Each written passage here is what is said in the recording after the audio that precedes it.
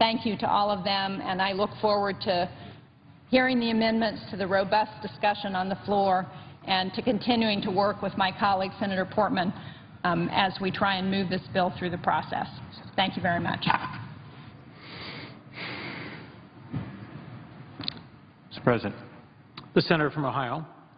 Mr. President, uh, we're finally here on the floor, and I want to thank my colleague, Senator Shaheen, for her comments and also working with me over the last few years to get to this point where we can be talking about something that brings us together, I hope, as a Senate, uh, which is this effort to ensure that we have an energy plan for America that can help bring back jobs, uh, help fix our trade deficit, and help spark, spark an American manufacturing renaissance, and that's the Energy Savings and Industrial Competitiveness Act. It's about energy efficiency. It's about using what we have more efficiently, uh, and I think it makes a lot of sense for us to move forward. As Senator Shaheen said, it's a first step, uh, but it's an important step.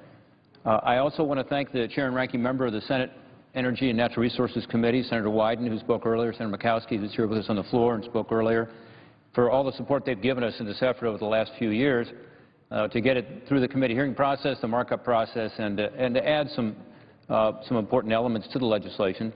Uh, we'll see more as the amendment process proceeds. I also want to thank Leader Reid for helping us bring this bipartisan legislation to the floor today, and I want to thank Senator McConnell, who's been very supportive of us moving this process forward. This is, as has been said on the floor uh, this afternoon, really the first substantive energy legislation we've seen on the Senate floor in, in a while, maybe, maybe, six years. And uh, it requires help from both sides of the aisle to get to that point.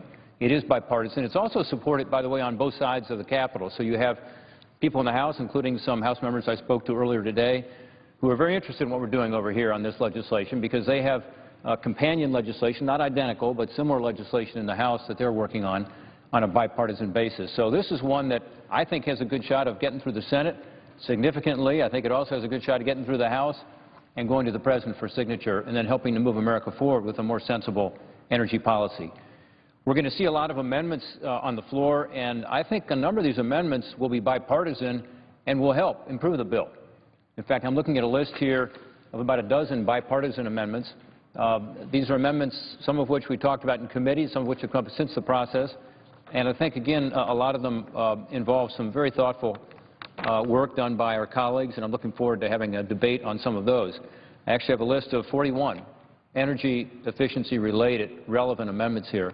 So this is an opportunity for us to have a broader debate on energy, but also to improve the energy efficiency legislation before us.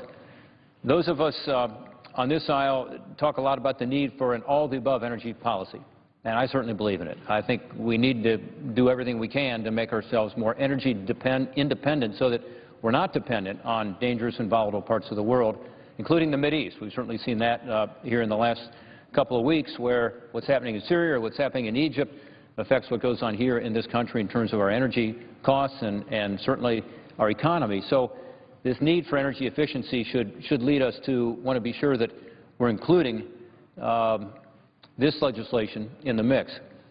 We need a policy that harnesses more of our domestic resources, and I believe in that. I think we ought to be producing more energy in the ground here in America. I'm for producing more.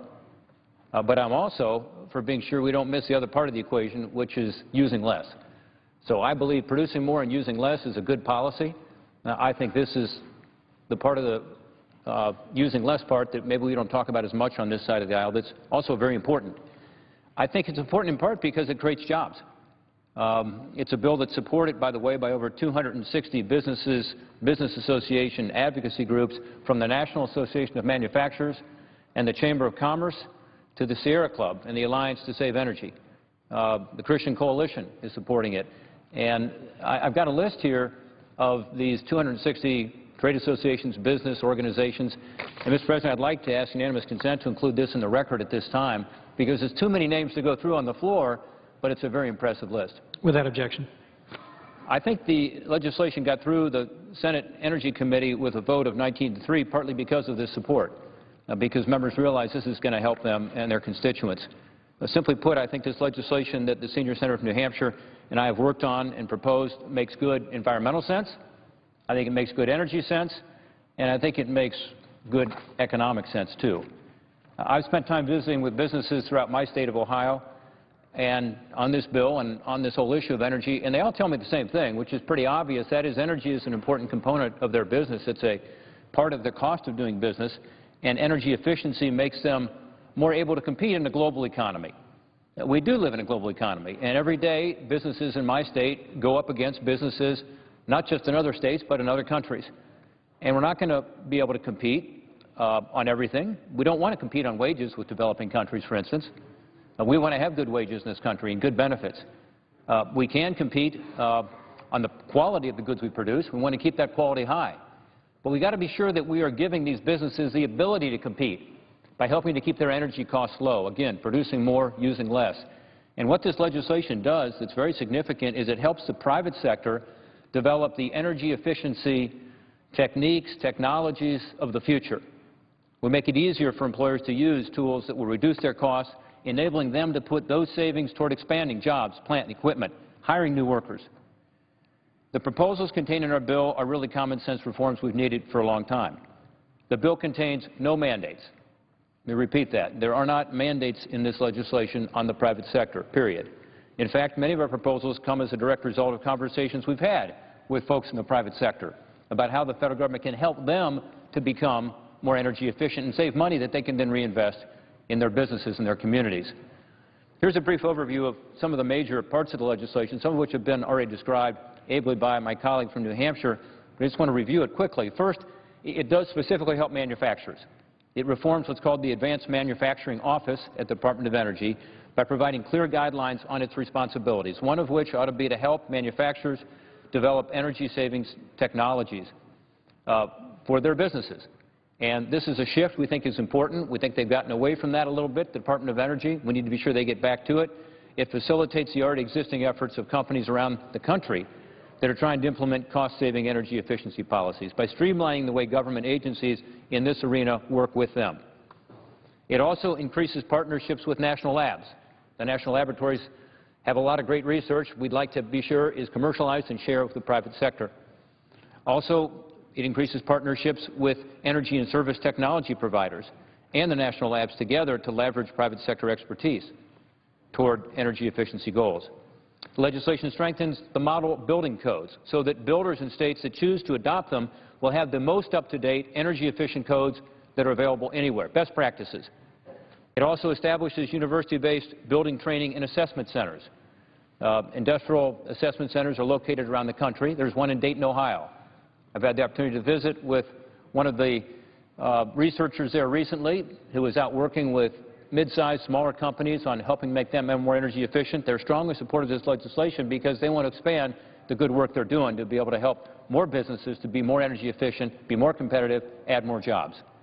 These centers also, under our legislation, will be helping to train the next generation of workers in energy-efficient commercial building design and operation.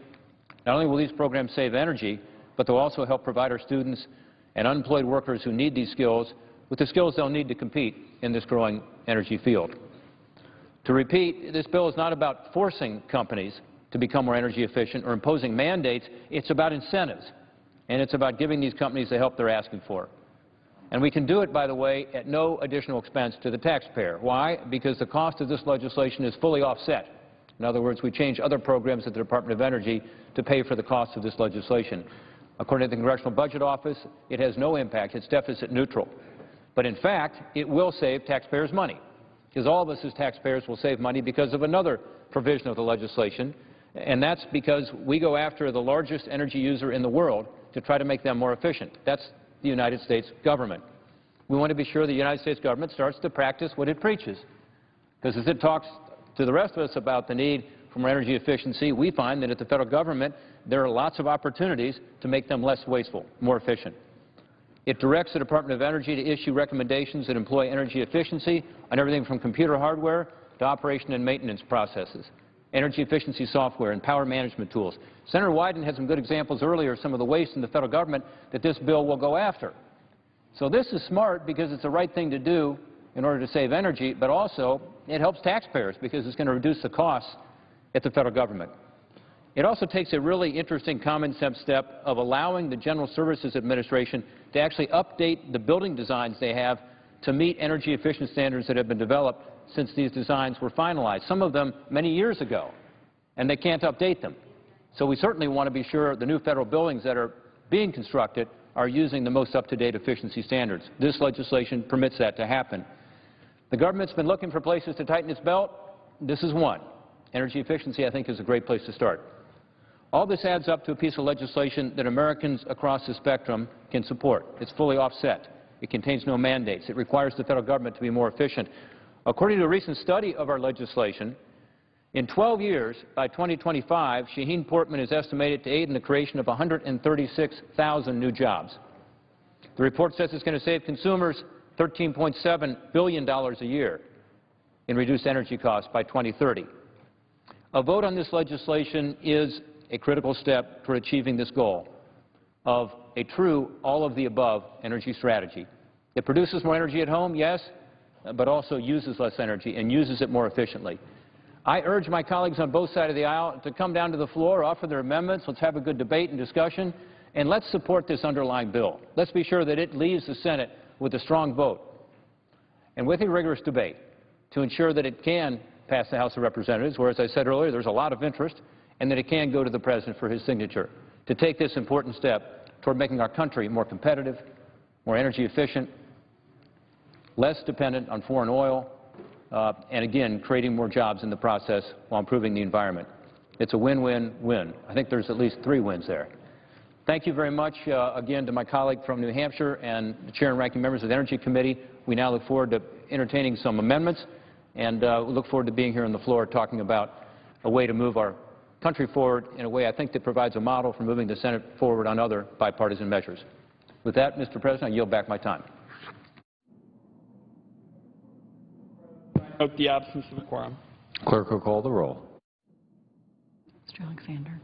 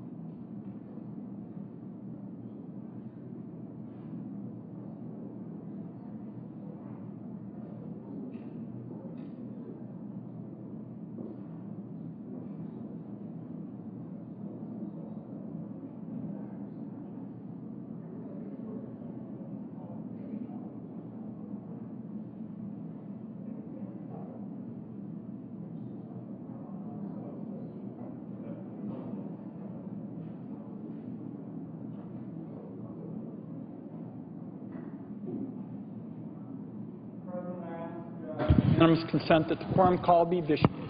Without objection. Mr. uh, President, I call up Amendment 1858. Clerk will report. Mr. President, I ask consent that further reading of the amendment be dispensed with. Without objection. Mr. President, uh, this is, in my view, a very practical amendment offered by my friend and, and colleague from Oregon, Senator Merkley. Involves a study on standby power. The amendment would, uh, in effect, fund the study at the Department of Energy to look at standby power standards in states and other parts of the world to determine what is the most feasible and practical way to approach it. There is no authorization here. I think it's pretty obvious to members of the United States Senate there are a large number of electronic products, from televisions to cell phone chargers to microwaves, that cannot uh, be completely turned off without being uh, unplugged, and we ought to find ways to reduce uh, wasted standby uh, power. I want to yield to my friend and colleague from uh, Oregon. It's my intention to support his amendment. I think it's a practical uh, idea, and I would just yield any time to Senator Merkley to explain his thoughtful amendment. Senator from Oregon. Uh, Thank you, Mr. President, and thank you to my, my senior colleague from Oregon. Uh, appreciate uh, very much your calling up this, this amendment and for your leadership on energy and specifically energy efficiency. And I would also like to uh, compliment my colleagues from Ohio and New Hampshire uh, who have worked so hard on this very valuable piece of the energy puzzle. How do we utilize the energy that we generate more efficiently? And specifically, this amendment uh, is related to standby power, the power that is wasted keeping devices ready to use at a moment's notice. And uh, I really prefer the term uh, vampire power or vampire electronics. This is, this is the power that our electronics suck out of our power system when they're doing absolutely nothing. And so um, this challenge of lost to vampire electronics is certainly something we, we ought to take on. Now, many electronic devices, from television and desktop computers, cell phone chargers, microwaves, they use energy when they're turned off, but are still plugged in. And often you'll see that little light that tells you that it's still uh, plugged in. This wasted energy accounts for roughly 5% of the residential electricity use. So about one kilowatt in every 20 or one dollar in every 20 is utilized to keep those little lights blinking. Now, the U.S. has yet to establish standards for efficiency in products related to standby power. Now, some states have, have done so, and other industrialized nations have taken action. And this amendment would simply tell the Department to look at the standards established elsewhere in the world or in individual states, compare them and analyze them so we can consider whether a lot more could be done nationally here in the United States to make us more efficient. And uh, that efficiency uh, really is like uh, producing uh, just uh, free available power by uh, ending the, the waste. In fact, the EPA estimates that 100 billion kilowatt hours of electricity is wasted by vampire electronics each year.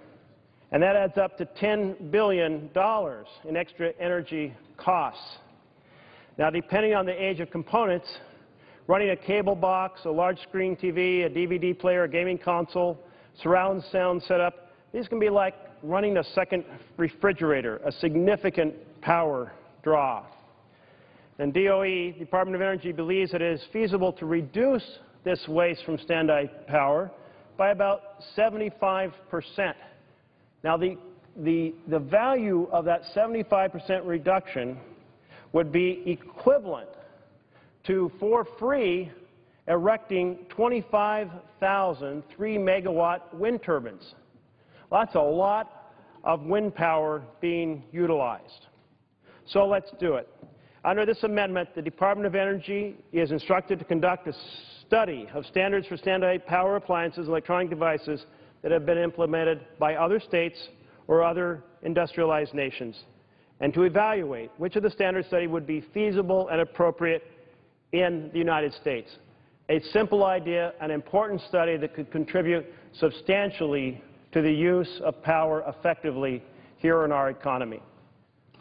Thank you very much, Mr. President, and thank you uh, to my colleagues for bringing this bill forward. Pres Madam President, Senator, Senator from Oregon. we are not going to vote on this amendment at, uh, at this time, but when we do, uh, I hope colleagues will support it. I think it's a very fine amendment, and with that, I yield the floor and uh, I'd note the absence of a quorum. Clerk will call the roll. Mr. Alexander.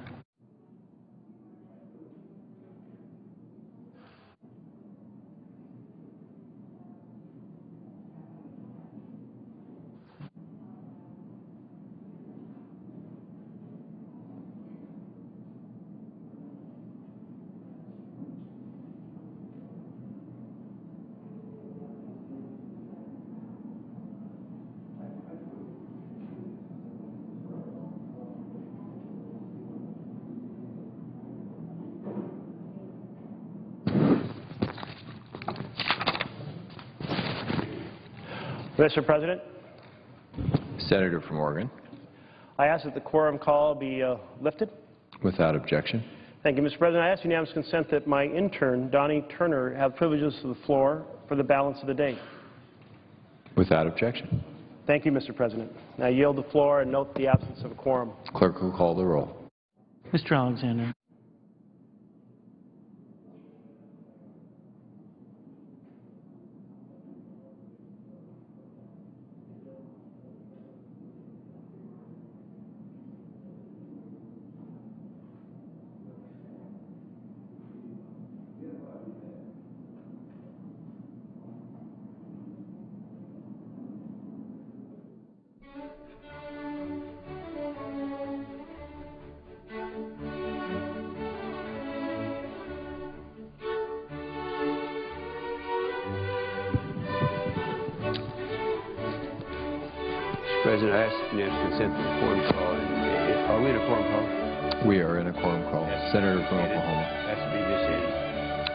Objection. All right, uh, Mr. President, I think there's a little confusion here on the floor. There's, uh, I have an amendment that I've talked to virtually everyone. There's, uh, in fact, I can't find one person who's opposed to it. Uh, and it's a very simple thing. And of course, what I would ask is that I be able to set aside the pending amendment for the purpose of considering my amendment number uh, 1851. Now, let me make that and see if there's objection to that. Mr. President, I I object. Is, is there, is there objection? I object. Objection is heard. Let's see, I thought it was the Democrats. Mr. President, let me just go ahead and just tell you what Senator it's all from about, because I know I'm going to be wanting to come back to the floor and uh, get this in the queue. And it's something, now and then, it's very rare in this body that we come up with something that everyone is for, something that wasn't a part of the original legislation for a very good reason. We're talking about geothermal.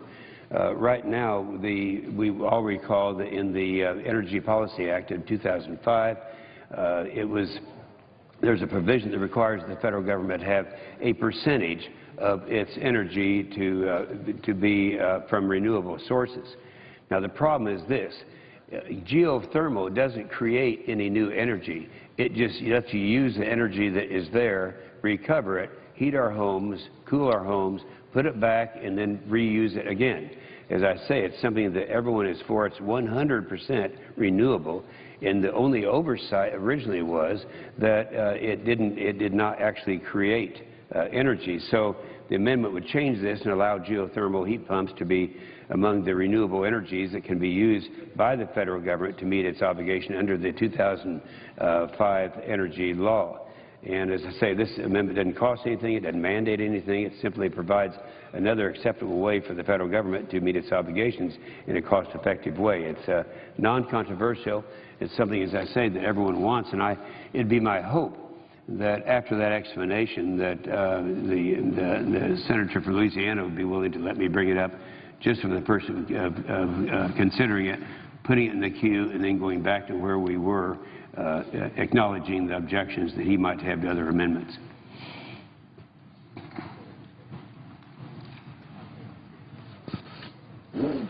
Mr. President, Senator from Louisiana. unfortunately, I'm going to have to sustain my objection, but I'm very hopeful that this can be worked out in short order as soon as uh, a vote on my amendment is locked down. Uh, And in fact, I'll go this far, it doesn't even have to be on this bill. It does have to be in the near future because the issue uh, with regard to which I'm very concerned happens on October 1st. So this is an extremely time-sensitive issue. I've had good discussions uh, with the majority, and it seems like we're going to be able to lock down that agreement hopefully very soon. But until then, I'm going to have to object. Senator from Oregon. intend, I intend to support the Inhofe-Carper uh, amendment. In, in my view, this is really a, a common sense clarification of existing law, and I, I just want colleagues to have a sense of this is the kind of bipartisan work that Senator Murkowski talked about earlier that we have been trying to do, is to try to come to the Senate with, with ideas that really pass the smell test. I mean, they are common sense, they are practical. In that context, this amendment modifies the existing definition of renewable energy to provide that thermal energy that is generated from or avoided by renewable energy sources ought to be considered renewable energy for federal energy purchase requirements. For example, if a federal agency has access to thermal energy from groundwater to heat or cool its facilities, under the Inhofe-Carper Amendment, that thermal energy would be considered renewable energy produced just as if the buildings had solar or wind power to produce electricity. And I hope that colleagues in this kind of spirit will bring us these kinds of suggestions and ideas. Senator Inhofe has brought this to us, you know, early uh, on, and I know that we're going to have some more discussion because of its connection to other kinds of matters, but I hope that we will get a vote on this. It is common sense. It is practical. I intend to support it, and I just wanted the record to reflect that, uh, Mr. President. Mr. President. Uh, Senator from Ohio. Mr. President, as author uh, uh, with Senator Shaheen of the underlying bill, I just want to say I've got a list here of, of a dozen uh, or so bipartisan amendments that um, I'd love to see us have a debate on, including the Inhofe Amendment, which I think Inhofe-Carper Amendment is, is a great example, as the Chairman just said, of one that actually improves the bill. As I said earlier, there will be some amendments that we may not find bipartisan consensus on, but this is certainly one, and I think it's common sense, and I appreciate him working with the committee and working with us and I just wish we could get it up for a vote uh, and get it filed today. Uh, and I do hope that we can work out our differences on uh, other amendments so that, uh, that are not relevant to the legislation so that we can move ahead with some of this good debate. And my sense is we, we have a good chance of doing that, so I would urge both sides of the aisle, let's figure out how to come together with, some, with a practical solution here to be able to provide a vote but to also allow us to proceed with, with this debate. Senator Inhofe came over here to offer his amendment. He wasn't able to, and uh, I hope we can, for the next uh, good bipartisan amendment, have that opportunity. Uh, with that, I, I, I yield. The Senator from Louisiana. Mr. President, let me offer this truly friendly suggestion. I think we can proceed with this debate. Senator Portman said proceed with the debate. We can proceed with this debate right now. We can bring amendments to the floor. We can talk about them. We can have a full debate on any amendment folks want to bring to the floor. I would encourage that, and I think that will move the process along because we can basically do all of the substantive debate uh, on these amendments. The only thing I'm talking about is a technicality, which is making the amendment pending. That's a technicality that doesn't have to stop or delay or prohibit any debate. So my suggestion is to move full forward with that debate as we work out this agreement, and I'm fully prepared in the same way to discuss and debate my amendment, and I'm, I'm ready to do that uh, whenever it's appropriate. The Senator from Oklahoma. Uh, I don't recall this ever happening before. The, the very uh, amendment that is keeping the obstacle for me is one that I would ask unanimous consent right now to become a co-sponsor of that amendment, the Vitter amendment I'm talking about. And I, I know what he's trying to do, and I know that he's going to make an effort to get this done in other, uh, maybe other legislation if it doesn't happen here. So uh, I will be joining him in his cause. And I see this as a separate thing here because, uh, as I say, you know, we want to move this along. I do have an amendment that uh, everyone agrees to, and I so I'll stand by and see if anyone changes their mind. And thank you. I, I, I say to the um, to the chairman and to the ranking member, thank you for your comments, your very kind comments uh, about my amendment. I, I would note the absence of a quorum, Mr. President. Clerk will call the roll. Mr. Alexander.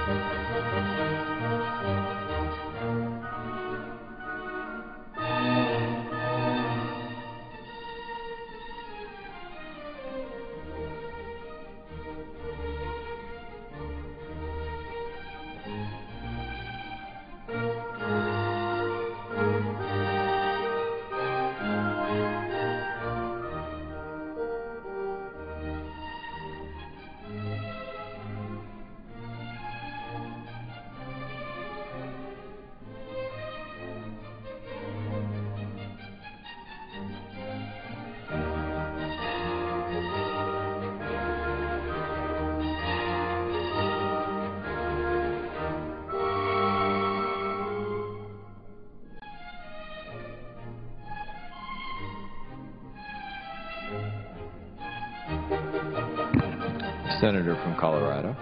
Mr. President, uh, are we in a quorum call? We are, Uh, I'd ask unanimous consent the quorum call be lifted. without objection. Thank you, Mr. President. Let me, let me start by uh, asking uh, for simple unanimous consent uh, approval. I want to uh, ask that uh, Kevin Reed, who's a legislative fellow in my office, uh, be granted floor, uh, floor privileges for the uh, remainder of consideration of uh, Senate Bill 1392. Is there objection? Without objection. Thank you, Mr. President.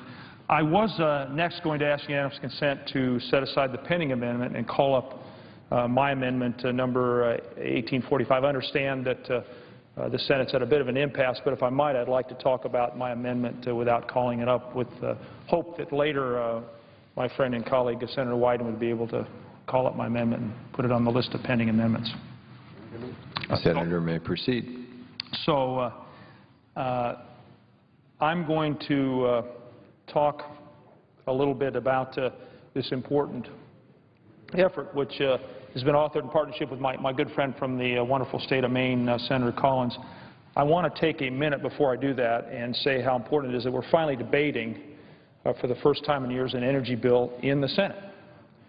And I think the fact that we're here today is a huge testament to uh, my colleague from the great state of New Hampshire, Senator Shaheen, and uh, my good friend uh, from the days I served in the House and now a fellow senator from the great state of Ohio, Senator Portman, uh, and the leadership uh, of uh, Chairman Wyden and Ranking Member Murkowski that we're here today beginning this important debate. Um, and for, I think Senator Portman and Senator Shaheen are saying this in, in every way possible, for our country to truly uh, realize energy independence and energy security, we need to efficiently use the energy that we already have.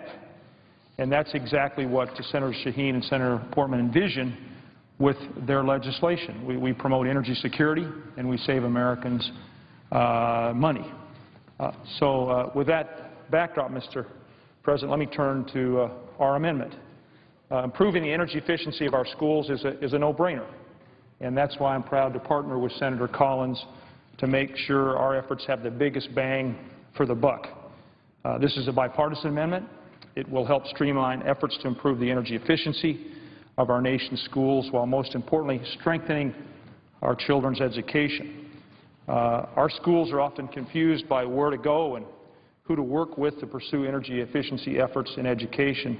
And, and this is in part because how, of how many agencies and uh, departments, state governments, and the like are involved. So by providing a coordinating structure for schools to better navigate existing federal programs and the financing options available to them, we're going to pare back uh, duplicative efforts and uh, make it easier for schools across my state of, of Colorado and across the uh, United States to save thousands of taxpayer dollars each year that then can be reinvested in strengthening our education system. Uh, the amendment also has the dual benefit of making federal programs work better uh, for our schools while still leaving decisions to the states, school boards, and local officials to determine what is best uh, for their schools. This is a common sense amendment, and I truly hope we get a chance to debate it, to have an up or down vote on it. And before I yield the floor, Mr. President, I'd also like to point out, and I know my colleague Senator Wyden is well aware of this, and Senator Shaheen, Senator Portman, Senator Murkowski, that when we have schools that operate on an energy efficient basis, studies show that our, our uh, young people, our children learn more effectively because if you're in an environment that's comfortable, where the light is appropriate, uh, where you can see, uh, where you can take in what's being taught, you're of course going to have a better educational experience. And a better educated America means a stronger America, means a more productive America, a more competitive America. So this has benefits across the board in every way imaginable. The broader effort uh, that Senator Shaheen and Portman have brought forward, but also that uh, Senator Wyden uh, and uh, Murkowski uh, are, are, helming here on the the Senate. So again, I just want to uh, draw attention to this important amendment. I want to thank my colleague, Senator Collins. I know she will be here later to talk about uh, her perspectives uh, and the other good work that she's going to do when it comes to this important piece of legislation. So with that, Mr. President, I yield the floor and again thank my colleagues. Mr. President. Senator from Oregon. Mr. President, I just want to, before he leaves the, uh, the floor of the Senate, just commend uh, my colleague from Colorado, uh, Senator Udall. This is a practical, common sense amendment. There is no new expenditure of federal funds. I'm very pleased that my colleague brought it to the floor. It's reflective of the approach we see in the Energy Committee and a host of areas where the senator from Colorado consistently tries to find com common ground and to act in a bipartisan way. And one of the reasons I wanted to speak for just a minute is now we're starting to see, Mr. President and colleagues, these bipartisan amendments are starting to sort of pile up.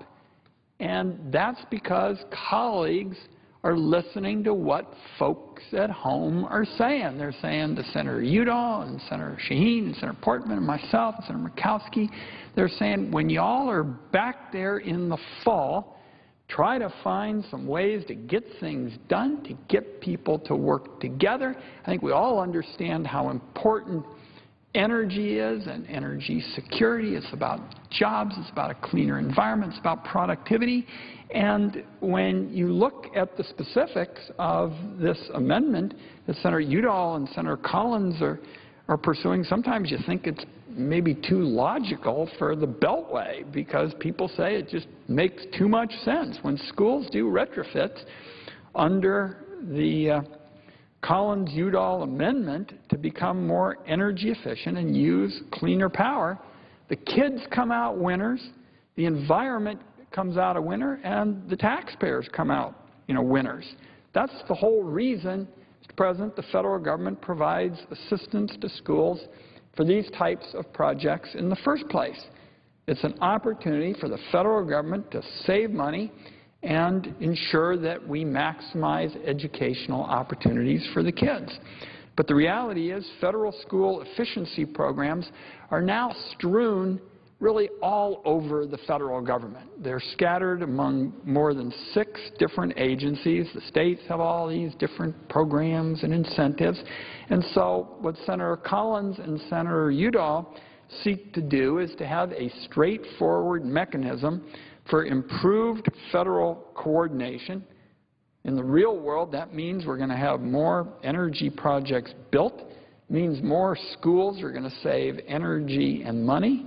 And I'll also note, because my friend Senator Murkowski is here, that uh, the Udall-Collins amendment pretty much tracks something that we've been interested in, that the committee's uh, been uh, looking at, uh, S-1048, uh, which was heard by the Energy Subcommittee on, on June 25th. So again, no authorization. The minimal costs are covered by existing DOE funds. I want to commend uh, the senator from Colorado for his good work, particularly the bipartisan focus he's put on this and everything else about his uh, Senate business. I hope we'll be able to vote on it. And I wanted colleagues, as this debate uh, starts, to see that we're going to start stacking up these good, common sense, bipartisan amendments. And that's why there is so much value in, in energy efficiency. So, you know, before you came, I said we all get worked up around here saying that we're for all of the above, you know, energy policy. It's almost obligatory to say you're for all the above three times every kind of 10, 15 minutes. You can't be for an all of the above energy policy unless you're for energy efficiency. And you're bringing some of that sensible thinking to the schools. So I'm looking forward to getting your amendment up and voting on it and commend you for your good, your good work. And uh, I would just yield back, uh, Mr. President. Senator from Alaska. Mr. President, I too want to thank the senator from Colorado and the senator from Maine for, for their leadership uh, in this area. When you think about being efficient, okay, let's coordinate, let's collaborate, let's, let's really uh, cooperate here so that we do better with what it is that we're utilizing. Um, I'm going to give an example of, of how something like this can make a difference in, in my state. I've, I've noted before that our energy costs in Alaska are some of the highest in the nation. Um, far too often, our, our schools are in remote areas where basically they, they're not part of anybody's grid. They are, they're in communities that are diesel powered. It's, it is a tough way to, to heat a community. But think about how expensive it then becomes for your school. Your school has to absorb these energy costs. Where do these dollars come from? They come effectively out of your education budget. And the state does step in. The state provides um, substantial assistance. But anywhere, anytime, any place that we can be working together to, to again, uh, be more collaborative in our approaches as, as to how we deal with, uh, with our efficiency opportunities. These are going to help our schools.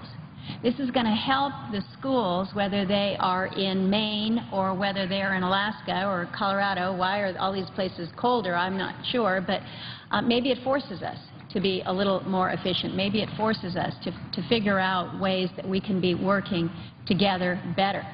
I want to make sure that we're able to get the education dollars into the classroom and not basically fueling the boilers to keep the kids warm. So I applaud my, my colleagues in, in this effort. The goal to increase coordination and cooperation of federal, state, and local agencies to be operating more efficiently, utilizing existing relationships, I think is, is a positive here. So again, I commend my colleagues uh, for their efforts in, in bringing us forward uh, on this particular aspect of, of energy efficiency. And I, too, look forward to the opportunity where we'll be able to show a good bipartisan uh, vote on this amendment and on others. Thank you, Mr. President. With that, I yield the floor. Mr. President. The Senator from Maine. Thank you, Mr. President. First, I want to congratulate the bill sponsors, Senator Shaheen and Portman, for crafting the underlying bipartisan common sense energy efficiency bill. I'm proud to be a co-sponsor of their legislation, and I'm pleased to see that the bill is being considered and look forward to the debate on energy efficiency. I would hope that as we consider amendments to this bill, that we could consider amendments that relate to the issue of energy so that we can make real progress and that we don't end up, uh, as happened before the recess, uh, when I was managing a bill on the transportation and housing appropriations uh, for the minority side, that we became distracted onto issues that had nothing to do with the underlying bill, important though it was. So I'm very pleased to join my colleague, the distinguished senator from Colorado, Mr. Udall, in sponsoring an amendment to help streamline the available federal energy efficiency programs and financing to help improve the health and lower energy costs for our nation's schools. Now, Mr. President, there are a number of federal initiatives already available to schools to help them become more efficient. However, in many cases, schools are not taking full advantage of these programs, and I think this is particularly a problem in rural states like Alaska or like Maine, where the schools don't have the luxury of having grant writers who can spend all day searching for federal funding that might allow them uh, to upgrade the energy efficiency or reduce emissions from their energy systems. Perhaps large urban schools may have the ability to hire those full-time grant writers. But I know in my state of Maine uh, that it's very difficult for schools to even become aware of these programs. And one of the purposes of the, the amendment that Senator Udall and I are offering is to help schools, regardless of their size, take advantage of existing programs. And I want to stress that we're not creating a whole lot of new programs here. All we're doing is providing a streamlined coordinating structures for schools to help them better navigate available federal programs and financing options. I also want to emphasize, uh, particularly to my Republican colleagues, that our amendment still leaves all the decisions to the states, to local school boards, to local officials about how best to meet the energy needs of their schools. So what does our amendment do? Specifically, the amendment would establish the Department of Energy as the lead agency in coordinating a cross-developmental effort to help initiate, develop, and finance energy efficiency, renewable energy, and retrofitting projects for our schools. It would also require a review of existing federal programs and financing mechanisms the formation of a streamlined process of communication and outreach to the states, local education agencies, and schools of these existing programs to make them more aware of their existence, and the development of a mechanism for governors, state energy programs, and local educational and energy officials to form a peer-to-peer -peer network to support the initiation of these projects. Finally, the amendment would require the Department of Energy to provide technical assistance to help schools navigate the financing and development of these projects. Mr. President, assisting our nation's schools in navigating and tapping into existing federal programs that will help them lower their energy usage and save taxpayer dollars, save money at a time of very tight, constrained educational budgets, simply makes good common sense. So I would urge my colleagues on both sides of the aisle to support the Udall-Collins Amendment number 1845. I want to thank not only the sponsors of the bill, uh, but the leaders of the Energy Committee, Senator Wyden and Senator Murkowski, uh, for their help and assistance to us. And I hope that we can start the debate on this bill up on a positive note by adopting a bipartisan amendment that's going to help our schools save money, reduce energy costs, and, and also lower emissions. That's the way to start the debate on this bill. Thank you, Mr. President. Senator from Louisiana.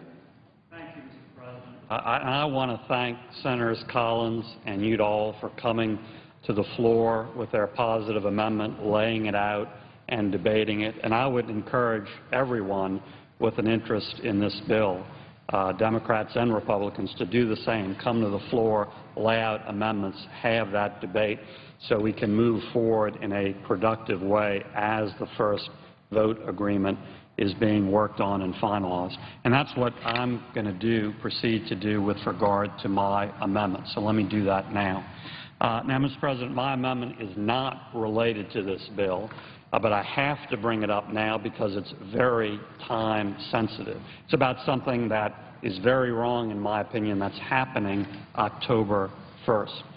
Now, Mr. President, many of us in this chamber, certainly myself, regularly talk against the exemptions under Obamacare that are created for the rich and powerful and politically connected. Many in this body, including myself, regularly talk about the abuses of this administration going beyond their legitimate authority, going beyond what's in the law, making up stuff through executive orders, through rulemaking, through executive fiat. And as I said, certainly I'm in that group.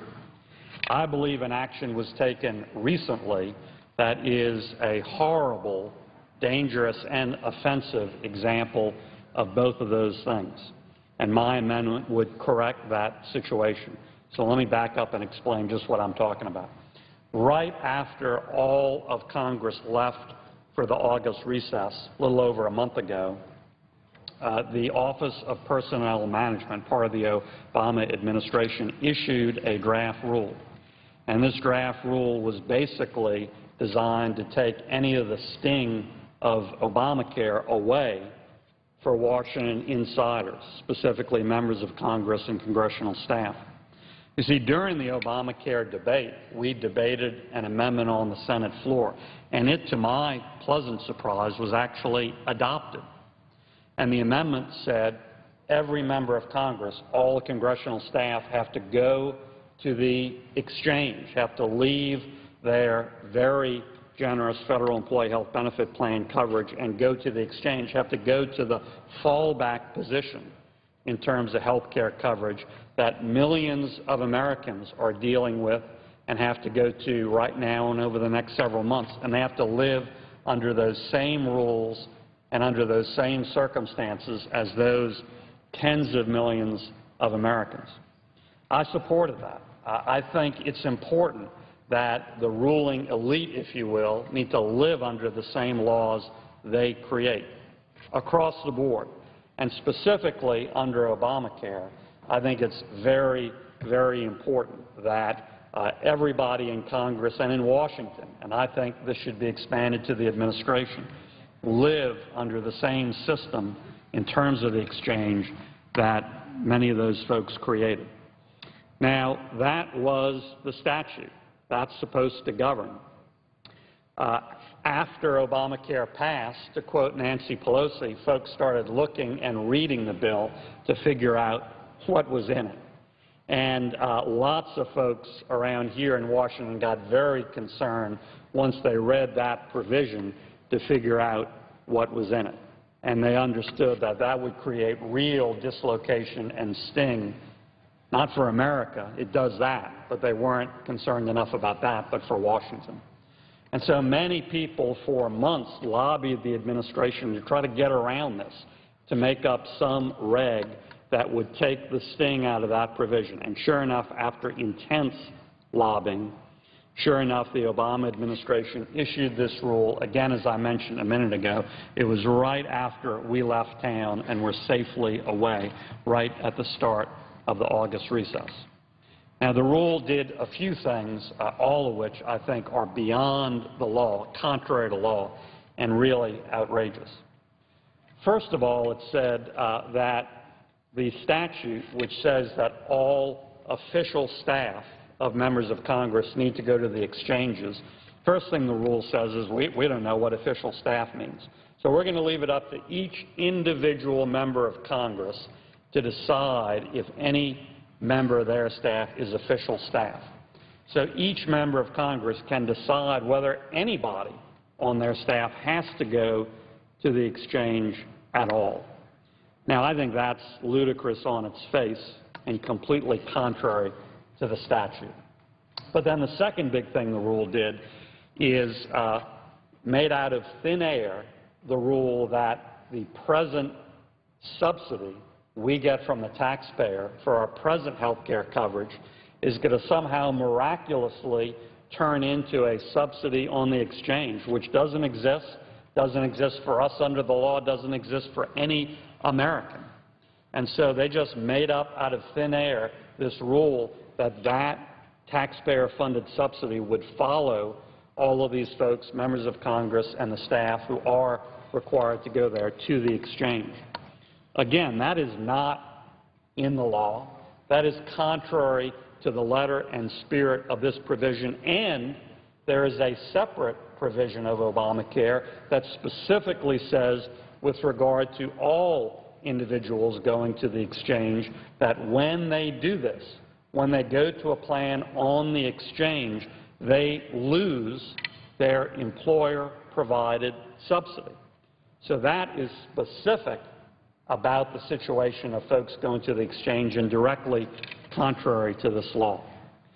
Well, Mr. President, as I suggested at the beginning, I think this is a special exemption for Washington, a special bailout for Washington to ensure that Washington doesn't have to live by the same rules, in this case with regard to Obamacare and the exchanges, that all of America does. And it's beyond the statute and it's beyond the president's constitutional authority. He can't just make things up out of thin air. For that reason, I've joined with many colleagues to draft a bill which we've made an amendment to this bill to propose that would fix that. And it is no Washington exemption from Obamacare. Specifically, the bill would do three things. First of all, uh, it does away with this OPM rule and it clarifies that members don't get to pick and choose who is official staff. Congressional staff is congressional staff.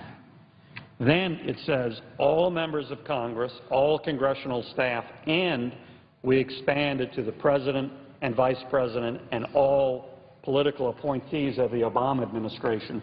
All of those folks have to go to the exchanges. The clear language of present law with regard to members of Congress and their staff. And finally, we fix the other part of this illegal rule.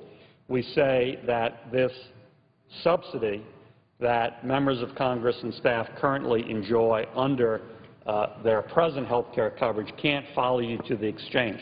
That's not the case for any other American. That's not in the law.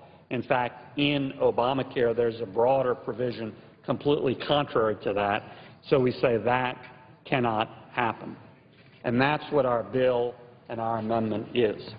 I think it is a fundamental, a threshold, and a very important rule of democracy that the governors have to live by the same laws that they pass and impose on the governed.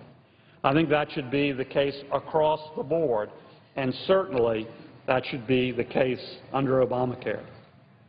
Tens of millions of Americans are experiencing having to go to the exchanges. Many of them didn't want to go there. Many of them had good coverage with their employer that they're losing because of the economics of this new situation, and they're being forced to the exchange. The clear language and intent of that provision in Obamacare was for members of Congress and staff to have to experience the same thing. And that, was, that is the clear language and that is the clear intent. So we should live by that, not get around that. And in my opinion, we should expand that to the President who has volunteered to go to the exchange, to the Vice President, to all of their political appointees. And so that's what our amendment does. That's what our bill does. I want to thank all of the members, Senate and House, who are working hard on this proposal, Senators Enzi and Heller, uh, Johnson, um, uh, many others. I know I'm missing several. There's several House members led by Congressman Ron DeSantis of Florida who are working on identical House language. They're hard at work, particularly in the context of the CR. The bottom line is this. There should be no special Washington exemption from Obamacare all laws that we pass should apply to us every bit as much as other Americans. And certainly we, as is the clear language and is the clear intent, should live under that fallback plan of the exchanges just like every other American does. And no other American gets this special subsidy that the OPM rule gives to us. Now, folks in this class under my amendment and bill would be able to qualify for a subsidy if it's the same subsidy that's available to other Americans according to income category. So if you qualify by income, fine. But this is way beyond that. This is a special deal, a special exemption for Congress, and we need to say there should be no Washington exemption. This bill this amendment does that clearly and categorically. And I urge my colleagues, Democrats and Republicans, to support this. Now, Mr. President, let me end by just talking about a vote. I'm uh, bringing up this amendment on this bill. The reason is this issue is very time sensitive. This rule, which was made up out of thin air, in my opinion, goes into effect, and all of this is set to happen October 1st. And so this debate has to happen. A change to this has to happen before October 1st. And that's why I'm bringing it up now and demanding a vote. Uh, But actually, that vote doesn't have to be on this bill. I will accept any fair, reasonable, substantive vote before October 1st. But we need to lock that down. Uh, I think we're well on our way to locking that down, and I look forward to that. In the meantime, Mr. President, let me just again urge my colleagues who have amendments to this bill on the subject of energy, on any other subject, come on down, present those, talk about those, debate those, as I have, as Senators Udall and Collins have. Let's move forward with the process as we nail down this first vote agreement. And as we get to that vote on this amendment, I urge my colleagues to follow the first, in many ways, most basic rule of democracy, that the same rules we impose on the governed, we should live by. That is absolutely essential. Should be that case across the board, certainly including Obamacare. And in the case of Obamacare, there's specific language that says that. That's what it says.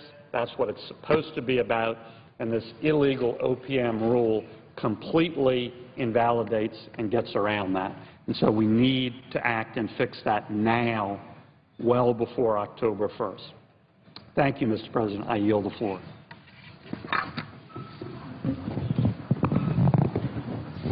Mr. President.